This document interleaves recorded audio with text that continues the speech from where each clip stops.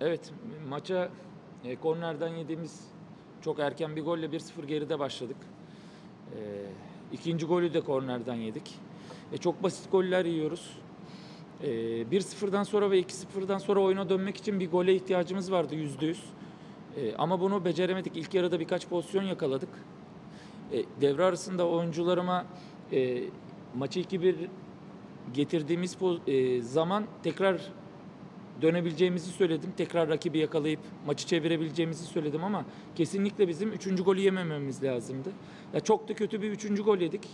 Akabinde e, bir gol bulduk ve golün arkasından aslında bizim için belki de maçın e, kırılma anı sayılabilir bizim açımızdan. İkinci golü kaçırdık. E, o golü kaçırmasaydık belki tekrar maça dönme şansımız vardı. Çok basit goller yiyoruz. E, baktığınızda aslında rakibe çok pozisyon vermeden 3 gol yedik. Bu iki taraflı da olumlu olumsuz düşündürücü aslında. E, rakip çok az kalemize geldi ama 3 gol yedik. E, baktığınızda bundan önceki haftalarda toplam 6 golle ligin en az gol yiyen 4. takımıydık ama e, bugün bu yediğimiz 3 gol gerçekten e, düşündürücü diyebilirim o anlamda. E, oyun üstünlüğü baktığınızda e, ortada geçen bir maç gibi. E, yani topa sahip olma anlamında herhalde %59'a 41'lik bir üstünlüğümüz var ama e, oyun anlamında bize hiçbir şey getirmeyen, hani bir şey ifade etmeyen bir üstünlüktü bu. Çünkü kendi daha çok iki, ikinci bölgemizde, birinci bölgemizde gereksiz çok sayıda pas yaptık. Bizim oyunumuza bir katkı ge- getirmedi bu. Bursa Spor'u tebrik ediyorum. E, biz de e, 4 hafta oldu kazanamıyoruz. Gerçekten üzüntülüyüz. Sağ olun. Buyurun.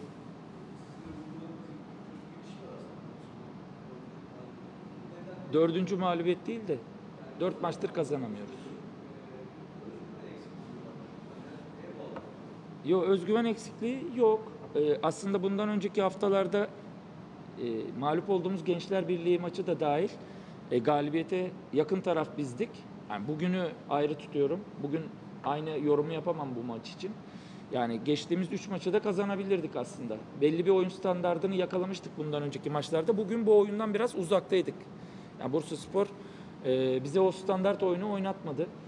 Aslında rakibin e, oynadığı hazırlık maçını da seyrettik Karagümrük'le oynadığı maçı. Biraz ikinci bölgeye çekilip bizi e, öyle karşılayacaklarını biliyorduk. Ya çok da çalıştık aslında e, bir hafta boyunca ama e, oyunu çok ağır oynadık. Yön değişti yani rakibin bizi o ikinci bölgede karşıladığı pozisyonlarda dengesini bozacak o çabukluğu, o çabuk pası, karar hızını, pas hızını, pas kalitesini sahaya yansıtamadık. Onu da üçüncü bölgeye taşıyıp golle sonuçlandıramadık. Zaten ama kaybet bundan önceki kazanamadığımız haftalarla haftalarda da bir golle ilgili bir sıkıntımız var. Yani bu da devam ediyor. 3-1'den sonra neredeyse yani Kosongo giren topu çıkardı. E, yani e, kimileri için şanssızlık denilebilir, kimileri için beceriksizlik ama bunlar söylüyorum tamamen şanssızlık üstüne de şanssızlıkla da açıklanamaz yani. Sağ ol. Teşekkür